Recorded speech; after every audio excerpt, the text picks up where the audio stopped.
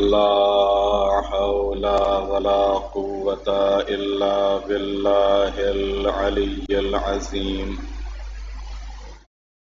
أعوذ بالله من الشيطان اللعين الرجيم. بسم الله الرحمن الرحيم. الحمد لله رب العالمين الصلاة والسلام على رسوله الكريم سيدنا ونبينا وشفيع المذنبين أبي القاسم محمد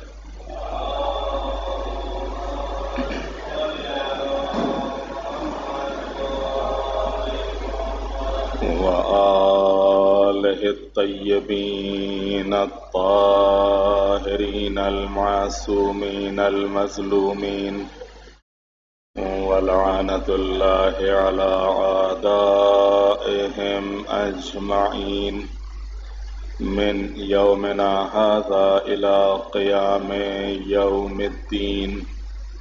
رب اشرح لي صدري ويسر لي أمري. وأحلل عقدة من لساني يفقه قولي. أما بعد فقد قال رسول الله صلى الله عليه وآله وسلم إني تارك فيكم الثقلين. کتاب اللہ و عطرتی صلوات بھیجتے محمد والے محمد.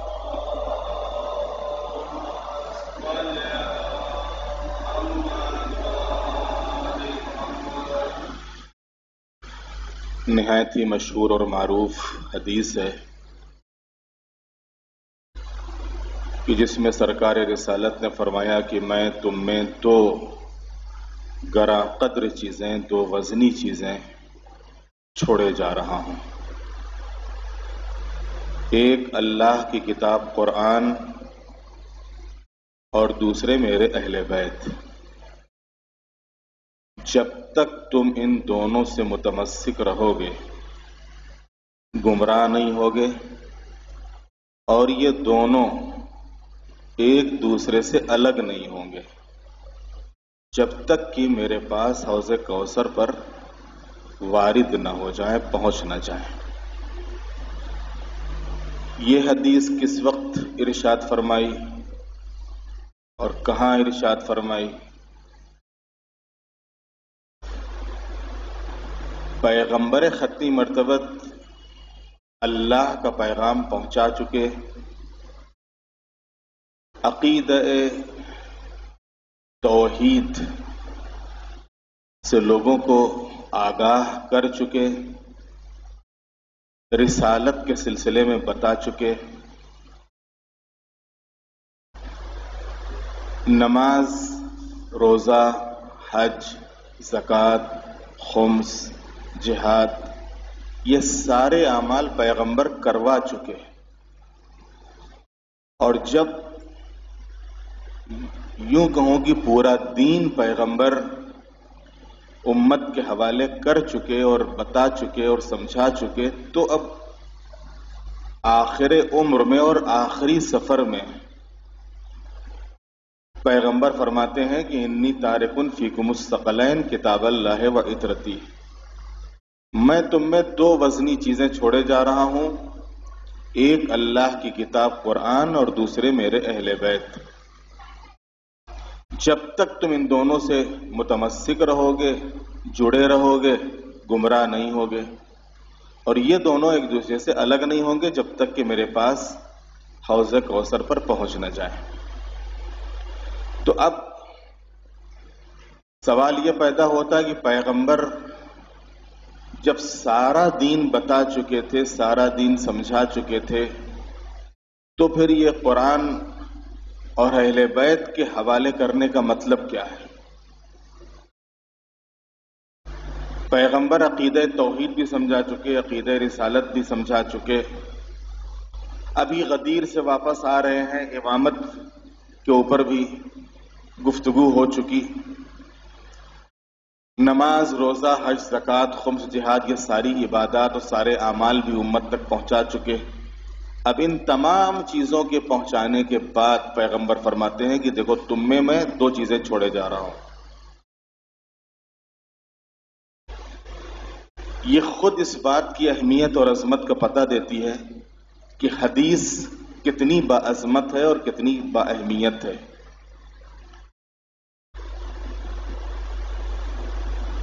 پیغمبر نے پوری زندگی یوں کہوں کہ پورا تبلیغی دور قرآن کو پڑھ کے اور اہل بیت کو پہچنوا کے گزارا ہے۔ پیغمبر قرآن پڑھتے جاتے تھے، قرآنی تعلیمات سے لوگوں کو آشنا کرتے جاتے تھے اور اپنے اہل بیت کا مقام اور مرتبہ اور ان کی عظمت بتاتے جاتے تھے۔ اور آپ کو دعوت ذلشیرہ سے لے کے بلکہ یوں کہوں گی غار ہیرا میں پہلی وہی سے لے کے اور پیغمبر کی زندگی کی آخری سانس تک کوئی لمحہ نہیں ملے گا کہ جس میں پیغمبر نے ان دونوں کے متعلق گفتگو نہ کی ہو۔ کہیں کے اوپر قرآن کی گفتگو ہے تو کہیں اہل بیت کی بات ہے، کہیں اہل بیت کی بات ہے تو قرآن کے سلسلے میں گفتگو ہے۔ غرض کہ آپ کو ہر مقام کے اوپر قرآن اور اہل بیت اہل بیت اور قرآن قرآن اور اہل بیت اہل بیت اور قرآن۔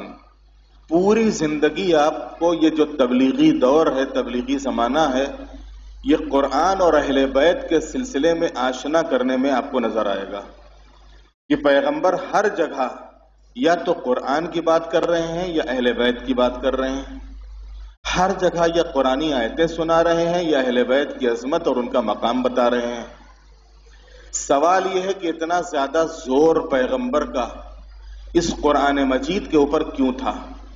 اتنا زیادہ زور پیغمبر کا اہل بیت علیہ السلام کے اوپر کیوں تھا؟ چلیے، جہاں تک قرآن کی بات ہے، جیسا کہ خود مسلمان نے کہا کہ حسبنا کتاب اللہ، ہمارے لیے کتاب کافی ہے۔ چلیے، مان لیتے ہیں کہ ہاں یہ اللہ کی کتاب ہے، اللہ کی طرف سے نازل ہوئی ہے، پیغمبر کے اوپر وہی ہوئی ہے، اس میں احکام ہے اس میں اخلاق ہے اس میں عقائد ہیں۔ یہ قیامت تک رہنے والی کتاب ہے۔ لہذا پیغمبر اس کے بارے میں بتا کے جا رہے ہیں۔ دیکھو، میں تمہارے درمیان قرآن چھوڑے جا رہا ہوں۔ لیکن یہ قرآن کے ساتھ ساتھ اہل بیت کی بات کیوں ہے؟ انی تارک فیکم مستقلین کتاب اللہ ہے، واحد رتی۔ صرف قرآن چھوڑ کے نہیں جا رہا ہوں، دیکھو، ساتھ ہی ساتھ اہل بیت کو بھی چھوڑ کے جا رہا ہوں۔ تو یہ اہل بیت کے سلسلے میں خصوصی طور پر پیغمبر کی سفارش کیوں؟ تو عزیز آنے محترم، اگر ذرا سا توجہ دیں تو مسئلہ آسان ہو جائے اور حل ہو جائے۔ دیکھیے، قرآن مجید میں جتنے بھی احکام ہیں، دنیا کا دستور یہ ہے، دنیا میں اسکول ہوتے ہیں، کالج ہوتے ہیں، اس کے علاوہ باقی اور دوسرے مراکز، دوسرے سینٹر ہوتے ہیں۔ بہت سے کورس ایسے ہوتے ہیں کہ جہاں کے اوپر بہت سی کتابیں پڑھائی جاتی ہیں، لیکن صرف پڑھانا یا پڑھنا کافی نہیں ہوتا ہے۔ جب تک کہ اس کا پریکٹیکل نہ ہو۔ جب تک کہ اس کو عملی طور پر بتایا نہ جائے، عملی طور پر سمجھایا نہ جائے۔ دنیا میں یہ چیزیں آج آسان ہے سمجھانا۔ ہاں شاید پہلے زمانے میں اتنا زیادہ شاید نہیں ہوتا ہوگا، لیکن آج ہر کالج میں، ہر اسکول میں، ہر یونیورسٹی میں الگ سے لیبورٹریز ہوتی ہیں۔ الگ سے لیب ہوتے ہیں کہ جن میں کلاسوں میں جو کچھ پڑھایا جاتا ہے، وہاں جا کے اس کو کرایا جاتا ہے۔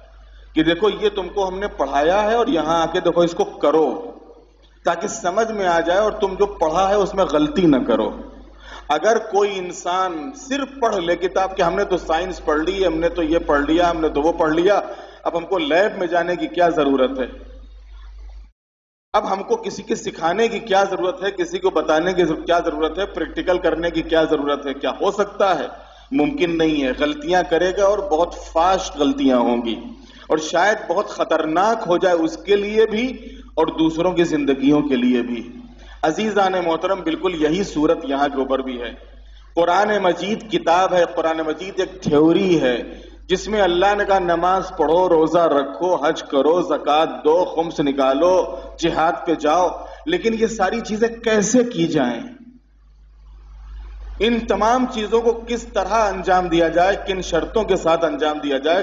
کب انجام دیا جائے؟ ضروری تھا کہ کچھ نمونے ایسے ہوں، کچھ مثالیں ایسی ہوں، کچھ ہستیاں ایسی ہوں، کچھ کردار ایسے ہوں کہ جو ہم کو کر کے بتائیں۔ ان تمام اعمال اور تمام احکام کے اوپر، عمل کر کے اور حکم کے اوپر کو مان کے۔ اور ہمیں بتائیں کہ یہ ساری چیزیں آپ کہیں گے، لیجیے پیغمبر تو خود بتا کے گئے۔ اگر پیغمبر بتا کے گئے تو پھر امت میں اختلاف کیوں ہوا؟ ہر فرقہ الگ الگ انداز سے نماز پڑھ رہا ہے۔ ہر فرقہ الگ الگ انداز سے روزہ کھول رہا ہے۔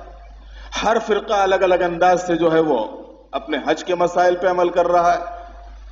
ہر فرقہ اپنے اپنے لحاظ سے زکات دے رہا ہے۔ پھر یہ اختلاف کیوں؟ جب پیغم قرآن ایک ہے اور پیغمبر بتا کے گئے تھے، سمجھا کے گئے تھے، تو پھر یہ اختلاف کیوں ہوا؟ یہ فرقوں میں کیوں بٹ گئی امت؟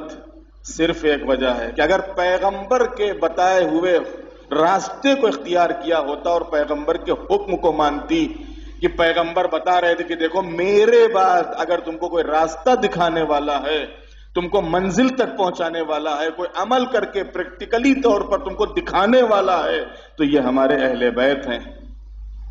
تم یہ قرآن کے ساتھ ساتھ ہیں۔ انی تارکن فیکم السقلین کتاب اللہ ہے وعدرتی میں تم میں دو چیزیں چھوڑے جا رہا ہوں۔ ایک اللہ کی کتاب قرآن اور دوسری یہ میں اہل بیت۔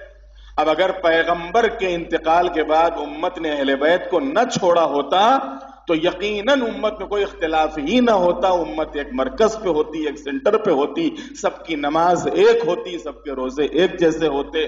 سب کا زکات نکالنے کا ایک طریقہ ہوتا، سب کا حج کرنے کا ایک انداز ہوتا۔ سب کے تمام مسائل ایک ہی جیسے ہوتے۔ ایک سلاوات بھیجتے محمد والے محمد۔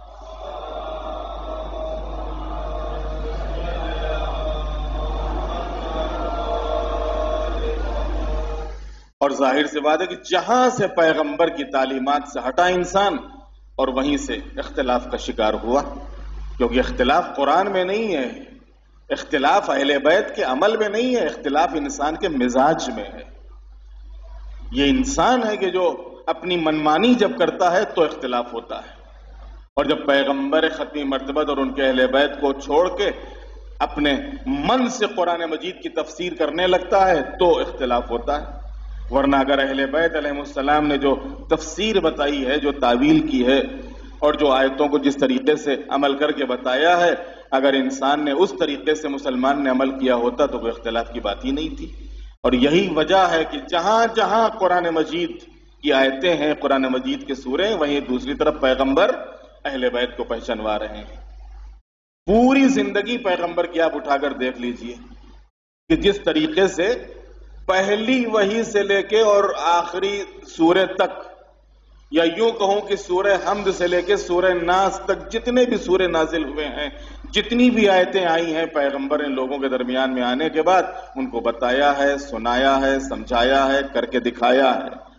یہی صورت یہاں کے اوپر بھی ہے، اہل بیت عصمت و تہارت امیر المومنین کی ولادت سے لے کے اور جب تک پیغمبر کی حیات رہی امیر المومنین کے بارے میں، جناب فاطمہ کی ولادت سے لے کے اور جب تک پیغمبر کی حیات رہی جناب فاطمہ کے بارے میں، امام حسن اور امام حسین کی ولادت سے لے کے اور جب تک پیغمبر کی وفات ہوئی اس وقت تک، امام حسن اور امام حسین کے بارے میں جگہ جگہ امت کو بتا رہے ہیں اور سمجھا رہے ہیں اور آگاہ کر رہے ہیں۔ کیوں؟ اس لیے کہ دونوں ہم پلہ ہیں۔ قرآن اور اہل بیت نہ تو قرآن اہل بیت کے بغیر سمجھا جا سکتا ہے اور نہ اہل بیت بغیر قرآن کے سمجھ میں آ سکتے ہیں۔ ایک سلوات بھیج دے محمد والے محمد۔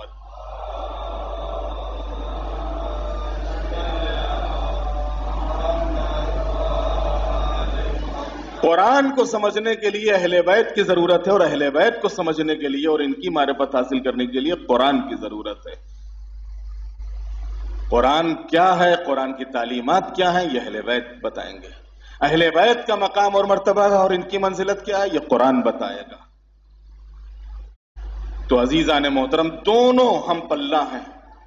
اور دونوں کا کام اگر آپ دیکھیں تو ایک جیسا ہے۔ قرآن بھی ہدایت کرتا ہے، اہل بیت بھی ہدایت کرتے ہیں۔ قرآن بھی روکتا ہے بیت بھی روکتے ہیں۔ قرآن بھی حکم دیتا ہے بیت بھی حکم دیتے ہیں۔ لیکن دونوں کا ایک دوسرے سے ٹکراؤ نہیں ہے۔ دونوں کا ایک دوسرے سے اختلاف نہیں ہے۔ جس چیز کا حکم قرآن دیتا ہے، اسی چیز کا حکم اہل بیت دیتے ہیں۔ جس چیز سے قرآن روکتا ہے، اسی سے اہل بیت روکتے ہیں۔ بس صرف اتنا فرق ہے کہ ایک قرآن سامت ہے اور ایک قرآن ناطق ہے۔ ایک خاموش قرآن ہے اور ایک بولتا ہوا قرآن ہے۔ قرآن کو پڑھتے جاؤ اور اہل بیت علیہ السلام کی زندگیوں سے اس کی تفسیر معلوم کرتے جاؤ۔ اور اہل بیت نے عمل کر کے بتایا ہے۔ ان تمام اعمال کے متعلق، ان تمام احکام کے متعلق کہ جو اللہ کی طرف سے قرآن مجید میں نازل ہوئے ہیں اور بیان ہوئے ہیں۔ اور جیسا کہ میں نے عرض کیا کہ امت قطعا فرقوں میں نہ بڑھتی، اگر پیغمبر کے اس ارشاد کو لیا ہوتا، انی تارکن فیکم مستقلین کتاب اللہ و عطرت میں تم میں دو وزنی چیزیں چھوڑے جا رہا ہوں، ایک اللہ کی کتاب قرآن اور دوسرے میرے اہل بیت۔ لیا بھی تو کہاں تک؟ صرف محبت کی حد تک۔ پیغمبر نے فرمایا، حضور نے فرمایا کہ دیکھو اہل بیت کو مت چھوڑنا، لہذا ان سے ہم محبت کرتے ہیں، صرف صرف زبانی طور پر محبت کرنے کے لیے نہیں کہا تھا کہ پیغمبر کہ میں اہل بیت کو چھوڑے جا رہا ہوں، تم زبانی دعویٰ کی خالی کرنا کہ ہاں، ہم اہل بیت کو بہت مانتے ہیں، اہل بیت کو بہت چاہتے ہیں۔ ہم چھوڑے جا رہے ہیں کس لیے؟ تاکہ تم ان کو اپنے لیے نمونہ بناؤ، اپنے لیے مثال بناؤ۔ اس لیے ان کو تمہارے درمیان میں ہم چھوڑ کے جا رہے ہیں۔ قرآن مجید تم کو بتاتا جائے گا اور اہل بیت تم کو سمجھاتے جائیں گے۔ قرآن مجید پڑھتے جاؤ اور اہل بیت کو دیکھتے جاؤ۔ کہ کون سا عمل کہاں کے اوپر کیسے کیا جائے، کن چیزوں سے بچا جائے، کن چیزوں کو انجام دیا جائے۔ اور اگر واقعا اس طریقے سے عمل ہوتا تو دنیا کا انداز ہی الگ ہوتا، مسلمان کی شان ہی اور ہوتی۔ اور دشمن یہی نہیں چاہتا تھا۔ اور یہی وجہ ہے کہ پیغمبر کے حیات ہی میں یہ نعرہ لگا دیا گیا کہ ہمارے لیے قرآن کافی ہے۔ ہمارے لیے قرآن کافی مطلب یہ تھا کہ اہل بیت کی ہم کو ضرورت نہیں ہے۔ اور اس دن یہ جو نعرہ لگایا، وہیں سے جو اختلاف شروع ہوا ہے وہیں سے جو شگاف پیدا ہوا ہے، وہ شگاف آج تک ختم نہیں ہوا۔ وہ شگاف آج تک نہیں بھرا۔ اور ظاہر سی بات ہے کہ جب قرآن انسان خود ہی عالم بن جائے گا، خود ہی مشتحد بن جائے گا کہ نہیں، قرآن ہمارے لیے کافی، ہم کو کسی تعلیم دینے والے کی ضرورت ہی نہیں، کسی بتانے والے کی، کسی سمجھانے والے کی ضرورت ہی نہیں، تو ایسے ہی گمراہ ہوگا۔ ایسے ہی بھٹکے گا کہ جس طریقے سے مسلمان نے قرآن لیا اور گمراہ ہو گیا۔ خود قرآن مجید کے متعلق آپ کو مل جائے گا۔ نہ جانے کتنے قرآن پڑھنے والے ایسے ہیں کہ قرآن خود ان کے اوپر لانت کرتا ہے۔ قرآن مجید خود ان کے اوپر لانت کرتا ہے۔ نہ جانے کتنے قرآن پڑھنے والے ایسے ہیں جو قرآن مجید خود ان پہ لانت کرتا ہے۔ کیوں؟ قرآن تو پڑھتے ہیں، لیکن قرآن مجید کی جو تعلیمات ہیں، ان قرآن مجید کی تعلیمات کے اوپر عمل نہیں کرتے ہیں۔ یا قرآن مجید نے جس طریقے سے جو چیز بتائی ہے اور سمجھائی ہے، اس طریقے سے اس کو تسلیم نہیں کرتے ہیں۔ اپنی منمانی تفصیلیں اور اپنی منمانی تعویلیں کرتے ہیں۔ عزیزان محترم، بس پیغمبر خطی مرتبت نے اس حدیث میں رہتی دنیا تک سارے مسلمانوں کو یہ پیغام دیا تھا کہ دیکھو دو چیزیں چھوڑے جا رہا ہوں، قرآن اور اہل بیت، اور دونوں ہر جگہ پیش کی۔ اور پیغمبر کے انتقال کے بعد بھی دونوں ساتھ ساتھ ہیں۔ قرآن اہل بیت سے جدا نہیں ہے اور اہل بیت قرآن سے جدا نہیں ہے۔ جب جب اہل بیت کے اوپر بات آئی ہے تو قرآن نے دفاع کیا ہے۔ اور جب جب قرآن کے اوپر بات آئی ہے تو اہل بیت نے دفاع کیا ہے۔ دونوں ایک دوسرے کے ساتھ ساتھ ہیں۔ قرآن بھی پیغمبر کے انتقال کے بعد مظلوم، اہل بیت بھی مظلوم۔ قرآن کو بھی چھوڑ دیا گیا۔ اہل بیت کو بھی چھوڑ دیا گیا۔ یہ میں نہیں کہہ رہا ہوں، خود قرآن مجید میں آئے تو موجود ہے۔ خود پیغمبر کی نہ جانے کتنی حدیثیں کہ قیامت کے دن یہ قرآن اللہ کی بارگاہ میں فریاد کرے گا۔ معبود اس امت نے مجھے محجور کر دیا تھا۔ مجھے چھوڑ دیا تھا۔ چھوڑ دیا کا مطلب کیا ہوتا ہے؟ ہر گھر میں تو قرآن ہے۔ ہر مسجد میں قرآن، ہر امام بڑے میں قرآن، ہر دکان میں قرآن، ہر آفس میں قرآن۔ کہاں مسلمان نے قرآن چھوڑا ہے؟ کہ جو قیامت کے دن قرآن فریاد کرے گا کہ اس امت نے ہم کو چھوڑ دیا۔ قرآن چھوڑ دینے کا مطلب یہ ہے کہ قرآن رکھنا قرآن کا ساتھ دینا نہیں ہے۔ قرآن کا گھر میں ہونا قرآن کا ساتھ دینا نہیں ہے، بلکہ اصل ہے قرآنی تعلیمات پر عمل کرنا۔ مسلمانوں نے اس قرآنی تعلیمات پر عمل کرنا بند کر دیا، چھوڑ دیا۔ جس کی بنیاد کے اوپر کل قیامت کے دن قرآن فریاد کرے گا۔ قرآنی فریاد نہیں کرے گا، اہل بیت بھی فریاد کریں گے۔ جس طریقے سے رسول اللہ اللہ کی بارگاہ میں فریاد کریں گے کہ میری امت نے اس قرآن کو چھوڑ دیا، ویسے ہی اہل بیت کے بارے میں رسول اللہ کی فریاد ہوگی۔ معبود، میری امت نے میرے اہل بیت کو چھوڑ دیا تھا۔ قرآن کے بارے میں بھی رسول اللہ کل فریاد کریں گے قیامت کے دن۔ اہل بیت کے بارے میں بھی رسول اللہ کل فریاد کریں گے شکوا کریں گے اللہ کی بارگاہ میں۔ اس امت نے اہل بیت کو چھوڑ دیا، دونوں کے اوپر ظلم ہوئے۔ قرآن کو پارا پارا کیا گیا۔ اور اہل بیت کی جن کو تلوار یا زہر سے شہید کیا گیا۔ قرآن کے اوپر بھی قرآن کو نیزوں پہ اٹھایا گیا۔ قرآن کے اوپر تیروں کی بارش کی گئی۔ اہل بیت کے سروں کو نیزوں کے اوپر بلند کیا گیا۔ ان کے جسموں کے اوپر تیروں کی بارش کی گئی۔ قرآن کو بھی چلایا گیا۔ اہل بیت کے خیموں کو چلایا گیا۔ اور یہ ظلم آج تک جاری اور ساری ہے۔ عزیزان محترم کہتے ہیں کہ جس وقت فضائے کربلا میں آواز گونجی ہے اللہ قتل الحسین و کربلا اللہ زبح الحسین و کربلا اور یہ ظالم شادیانے بجاتے ہوئے واپس ہونے لگے۔ تو ایک مرتبہ عمر سات رکابوں میں زور دے کے کھڑا ہو گیا ہے، فوج والوں، کہاں جا رہے ہو؟ ابھی تو ایک بہت بڑا کام باقی ہے۔ کہ اب کیا کام رہ گیا؟ حسین تو قتل کر دیے گئے۔ کہ ابھی حسین کی لاش کو گھوڑوں کی ٹاپوں سے پامال کرنا ہے۔ ازاداروں دس بڑی بڑی ٹاپوں والے گھوڑے آگے بڑھے۔ درمیان میں امام کا لاشا رکھا گیا۔ ادھر کے گھوڑے، ادھر ادھر کے گھوڑے، ادھر۔ ازاداروں صرف اسی پہ اکتفا نہیں کی، ظالموں نے خیموں کا رخ کیا۔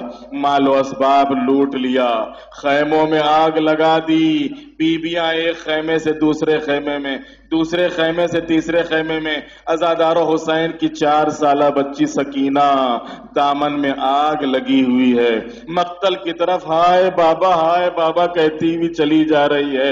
ازادار و حمید ابن مسلم کہتا ہے کہ میں نے یہ منظر دیکھا، میں قریب گیا۔ قریب جانے کے بعد چاہا کہ بچے کی دامن کی آگ بجھا دیں۔ ایک مرتبہ بچی کہتی، شیخ، میرے ہاتھ نہ لگانا، میں سید زادی ہوں۔ بس ایک مرتبہ کا خدمت ہو۔ کا خدمت یہی کہ مجھے یہاں کے اوپر قریب میں میرے دادا علی کا مزار ہے۔ وہ ان کا روز مزار ہے، ان کی قبر ہے۔ ہمیں ان کا پتہ بتا دو۔ ہمیں نجف کا پتہ بتا دو۔ کہ نجف جا کر کیا کرو گی؟ کوفہ جا کر کیا کرو گی؟ کہا، کوفے میں میرے دادا علی یہ مرتضی ہیں، ان سے شکایت کروں گی، دادا، ذرا کربلا کے میدان میں آ جائیے، یہ آپ ہی کی اولاد ہے، کہ جن کے لاشوں کو پامال کر دیا گیا، جن کے خیموں کو جلا دیا گیا، آپ کے اہل حرم کے سروں سے چادروں کو اتار لیا۔